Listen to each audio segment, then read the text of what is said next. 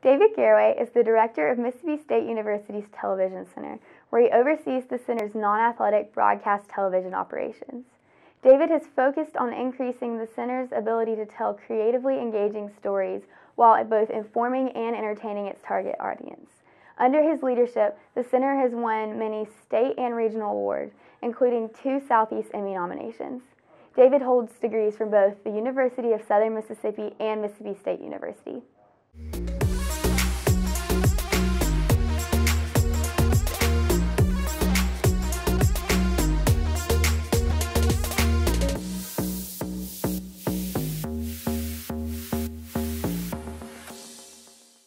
Hello, I'm David Garraway. And though I'm here to talk to you today about storytelling, for the longest time, I didn't see myself as a storyteller. When I graduated from college in 2003, my degree was in television production. And when I entered my undergraduate program, I had dreams of working live television events, running camera or being in the production truck for sports and other programs. As a result, I focused my attention on the equipment and techniques of production. I was a passable writer. It certainly wasn't my passion and it definitely wasn't my interest. I wanted to do cool things, not be one of those film kids in the program across the hall. My TV production peers and I would make jokes about the starving artists next door in film production, and I was glad not to be a part of it. But life is funny sometimes, and I wasn't going to get the last laugh. After graduation, I moved into corporate television production, working for a large southeastern regional banking corporation then managed a small television production facility in South Mississippi before coming to MSU in 2010. The bank and the small facility taught me about the logistics and the business of shoots, for sure, and I felt very prepared to move to the university and help tell our stories here. Fast forward seven years, and I'd hit a creative wall. Though I enjoyed the live production television aspects of my job, I found that my edited work was very formulaic and not very compelling. And if you don't believe me, go take a look at that body of work, still conveniently online for me to face my mediocrity on a fairly regular basis. Now, a couple of years ago, several of us at the TV Center started work on a new production concept that we called MSU Films. In this approach, we really wanted to increase our level of technical and creative proficiency and turn out work that would appeal to larger audiences based solely on the entertainment value of the work. To do this, though, I would have to reassess my understanding of television production and change the way I produced. It was time to turn a very critical eye to my work and determine what I was getting right and what I wasn't. Now, it took working with some very talented producers for me to understand what I had been getting wrong, and I hate to admit that I had some fundamental misunderstandings as to how to handle the creative parts of my profession. So, I'm going to save you a lot of time and trouble and tell you the five things I wish I had known when I started in television. First, and this is arguably the most important, everything is a story if you dig deep enough. Now, this is the biggest misunderstanding I had while making snide remarks about those filmmakers in college. And I believe it's the thing that most affected the quality of everything I had created for years.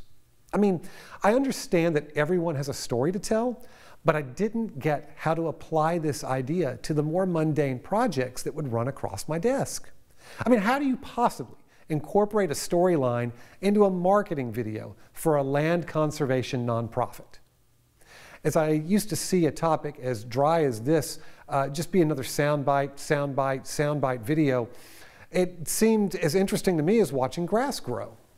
However, I was fortunate that James Parker, one of our senior producers, was assigned to the project. He fundamentally understood that every project is an opportunity to tell a compelling story. The details are how the story interacts with the client required elements to get the message across. Now take a look at this segment from It's a Journey.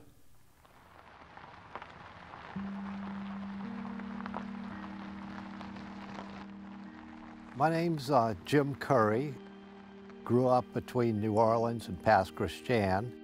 I must have had a desire somewhere to, to, to I must have been attracted to forestry and land and everything because uh, my, my grandfather was a lumberman.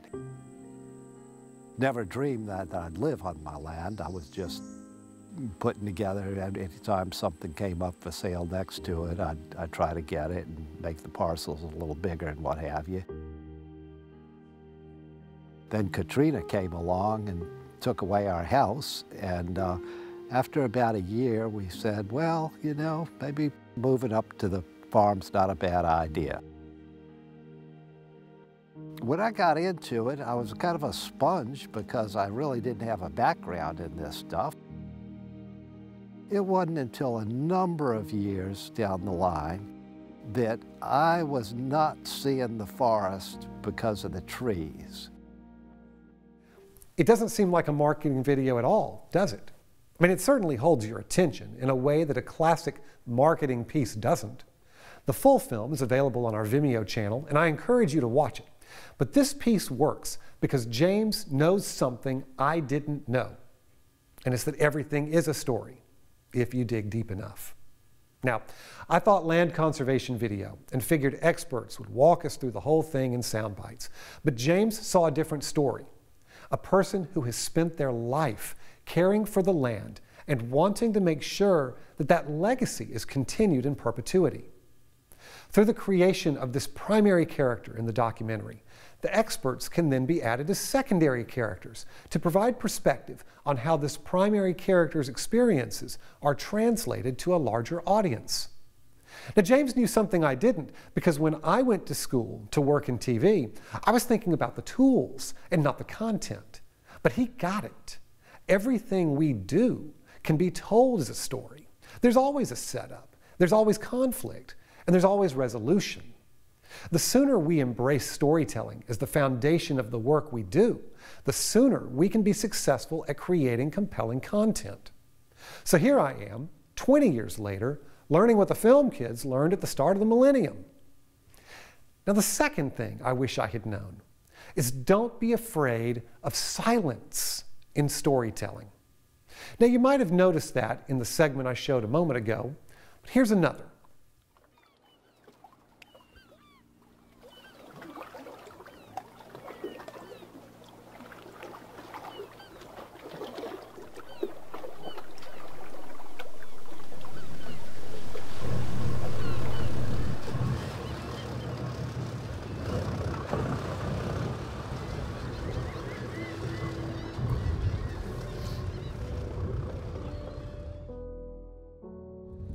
Dear Lord, we come to you again today asking for safety, happiness, if it's in your will, a bountiful catch. Uh, safe return for everyone today. And uh, while we're out here, please watch over our friends, family, loved ones, even our enemies. Thank you, Lord. Amen. My name is Sonny Schindler. I'm an owner and guide for Shore Thing Fishing Charters in Bay St. Louis, Mississippi.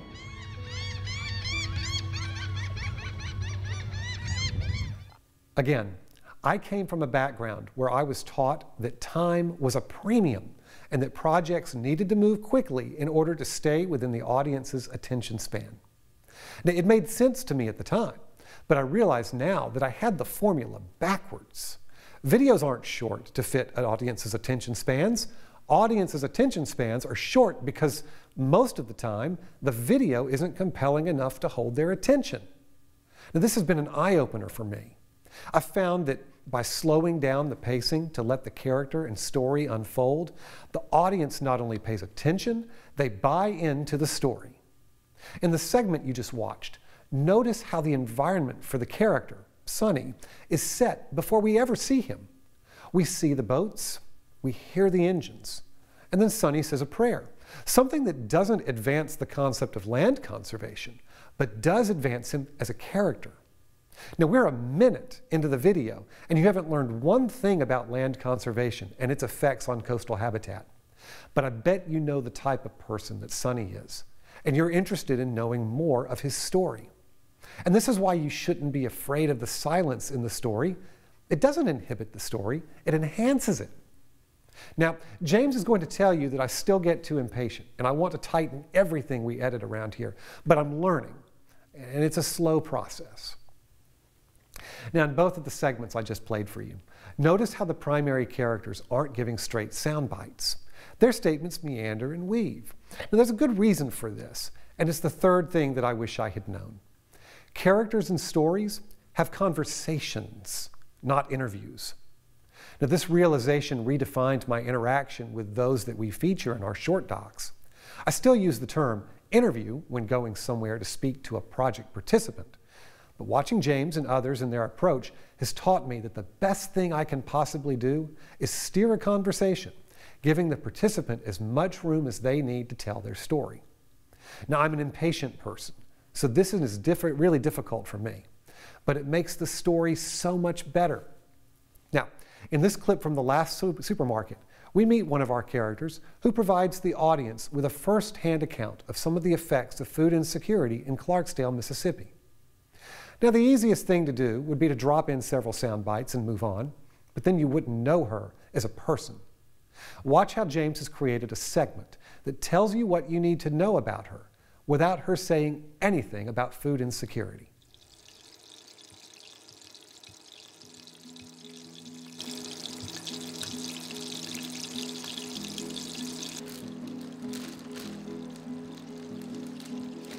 My name is Linnell Stewart. I'm a person that I love to cook, so I love to shop for food. And I'm always looking for something different. I like to experiment with dishes. You know, I might say, well, you know what, I want to see what can I do to this chicken today to make it different from what I had two days ago or whatever. So I just love to, to flip recipes around, add my own touch. I love hot food. You know, I mean, when I say hot, I mean with spices, hot with spices.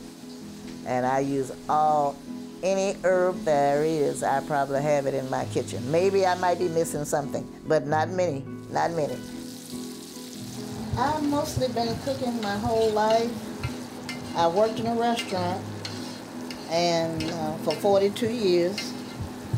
So I learned to cook there.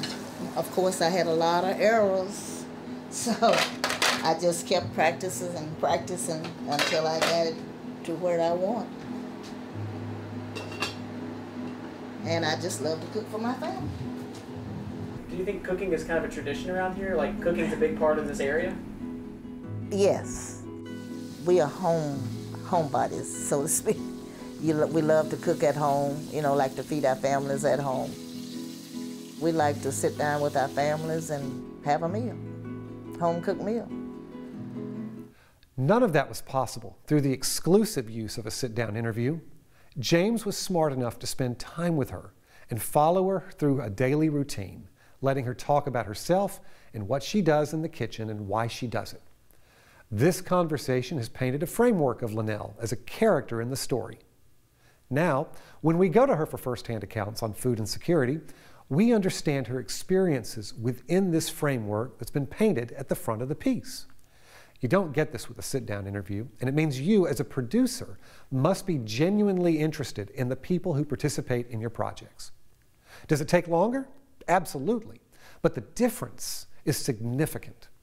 Approaching every interaction with project participants creates conversational approaches that enhance the story you want to tell.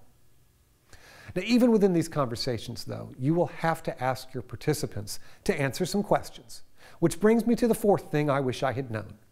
Enjoy the uncomfortable pause. Now, it's no secret that we as a society hate uncomfortable pauses and will do anything to eliminate them. With that in mind, you can use this to your advantage. And I love this one because it's so deceptively obvious and easy to implement. After you've asked a question of your participant and they've finished answering, pause. Just a little longer than it feels comfortable to you. Sometimes your participant will fill this space by continuing their response, and I've found that this is almost always the most genuine and human part of their answer. All because we hate silence. Now, on a related note, my favorite question is now the one I always ask at the end what haven't I asked you that you want to tell me? Inevitably, I've missed some angle in my pre production and interview preparation. And this is the place where the participant gets to fill me in. And this works for a couple of reasons. First, there's no possible way, even with your prep work, to possibly know every angle that your project participant can provide. It's likely there's an entire avenue of discussion that you failed to plan for that your participant was expecting and ready to discuss. Second, the participant was waiting for you to ask a, a specific question a specific way, and you, I, didn't. This is the opportunity for them to tell you the thing they want to tell you. And that earnestness comes through in their answer. And trust me on this one. So, four things I wish I had known when I'd started in this business eons ago. Everything is a story. Don't be afraid of silence. It's a conversation and not an interview. And enjoy the uncomfortable pause.